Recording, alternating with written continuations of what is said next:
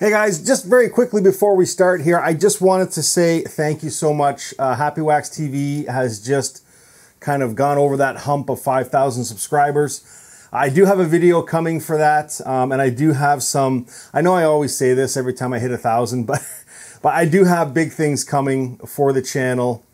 It's just my life is very busy, and I love playing golf, so I have to try and squeeze this this channel in there somewhere between work and and golf and then my my son and my daughter it's just you know it's it's it's a stretch sometimes but i, I listen i appreciate every single one of you. Um, thank you so much for for becoming a part of this channel and this family. Um, I'll, I'll never ask you to subscribe and i will never monetize this channel to, to make money off it. Um, so rest assured you'll never see any commercials on my reviews unless you know, it gets copyrighted or whatever, and somebody else is putting, you know, YouTube or whoever is putting commercials up. But I will never do that, and I will never ask you to subscribe to my channel. So the fact that 5,000 people have come on board is fantastic. So, anyways, I just wanted to say thank you. Uh, I do have a video for that coming because I did ask a bunch, well, all of you, to, to ask me questions if you wanted to know anything about me personally or about the channel or about my history or anything like that. So, I've got a ton of them. I've gone through them and I am working on a video and it's coming out very shortly. So, anyways, let's end it there and uh, we'll get on to this movie, Jakob's Wife, because it is fucking awesome. Hey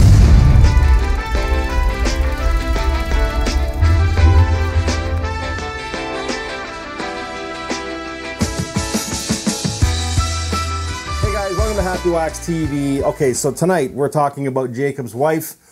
I am going to do my best not to do spoilers for this movie. Just know that I thought it was fucking fantastic, and I highly recommend this movie. Right off the hop, if you don't want to listen to me ramble on about it for a bit, I'm probably going to give this movie a really strong seven, maybe even a seven and a half. I, I thought this movie, it's low budget, okay, and I'll, I'll be honest with you, I love Barbara Crampton, okay? She was like my go to back in the 80s, and she's still killing it today. I mean, she's had a few movies that she started in the last little while that I didn't really care for.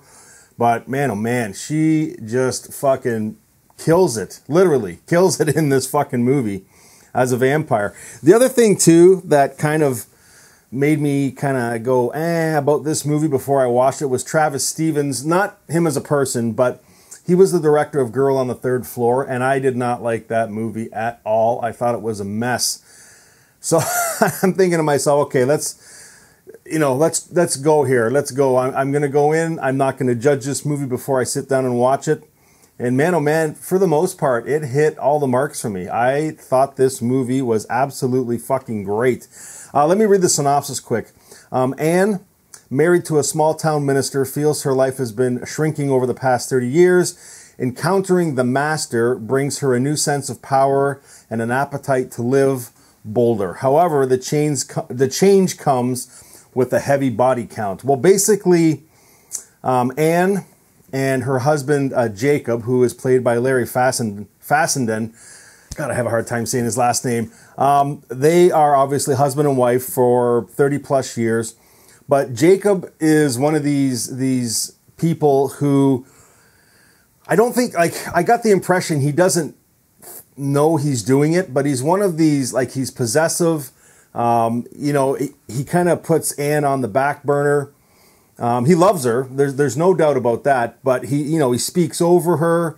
Um, you know there's there's conversations at the church will where where she'll be talking to some of the people who visit, and then he'll cut her off. You know because he has to be the dominant figure in this, and that I not only does it happen all the time, but I see it all the time. I really do. Like when I'm out and about, it, it's crazy.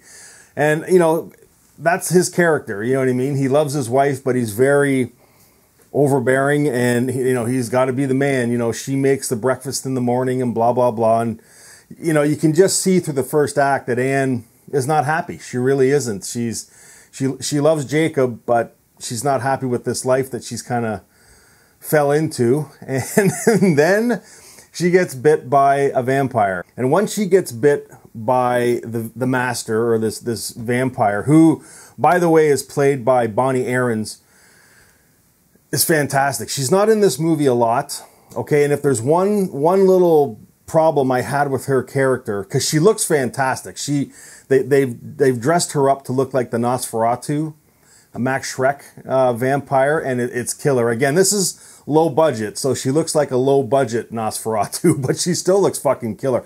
The only thing I didn't like about her character was the way they they they did her voice. Okay, they they kept it as a female voice, which is fine, and you can obviously she's a female vampire, you know this, but it just her voice just didn't have that oomph. You know what I mean? Like I, I just wanted her to be a little more powerful sounding, and, and they didn't do that. And I, I thought they messed up on that part. But her look was fantastic. It was it was fucking amazing. But once she gets bit, like when once Anne gets bit by the master, she totally changes into this person, almost like she used to be. You know, that's explained to us when she's younger she's she's got uh, you know a, a, a, zest for life. Uh, you know, she wants to go out and do stuff. She's she's very well spoken, empowering, and and it's fucking great. And it catches Jakob off guard. You know what I mean? But then we start to see the transformation where she's turning into a vampire, and she gets the bloodlust and the hunger,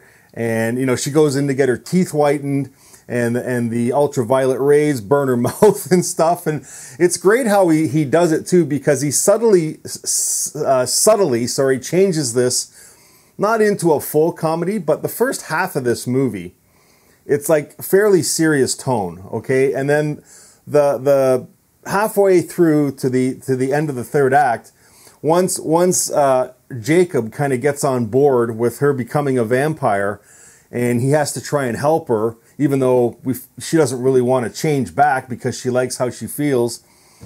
It, it's it's comedic. It's it's comedic, and the jokes for the most part hit when they need to. There's a scene with a little girl in the trailer where they're where they're pulling this this body out of the house of this elderly woman that that died, and they want to use her body to train it so Anne can have some blood, right? Because she's she's got this bloodlust, and the the conversation between the little girl and the two of them is fantastic. Like they they play off of each other great. Like it's fan, this they gel, and they're both they should because they're horror icons and they've been in a shit ton of movies. So and it shows the acting chops in this movie is fantastic.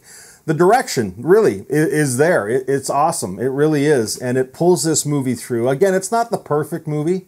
There are some things that I didn't like about it but I mean, it's it's it's over the top when it needs to be over the top because there's like throat cutting scenes and some impalements and stuff like that.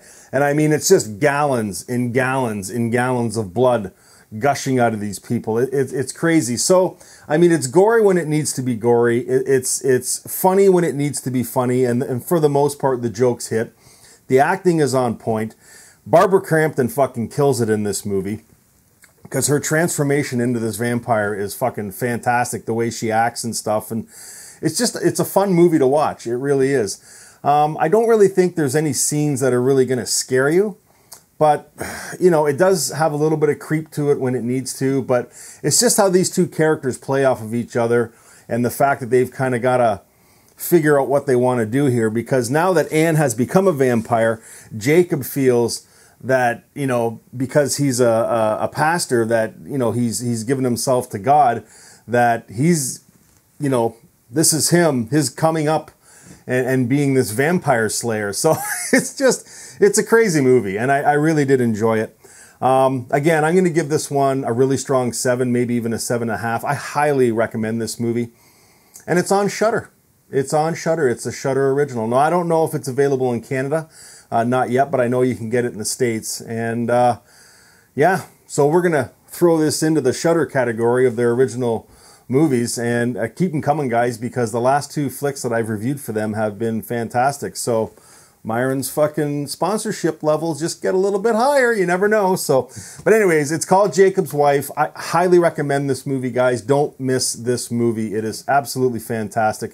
If you've seen it already, please let me know what you thought about this one. And if you haven't, again, go go find this movie, whether you get the Shudder platform or you or you rent it or wherever you watch your movies. But do not miss this movie, Jakob's Wife. It's out now. And until next time, guys, stay safe.